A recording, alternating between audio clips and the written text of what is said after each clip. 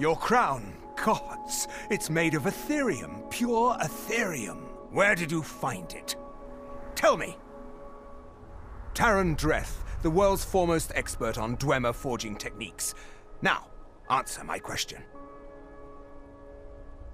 What? You... you found the forge? The Aetherium forge? Katria? No, no, that's not possible. You... you know too much. I can't afford to let you live. Guards! Never should have Kill him!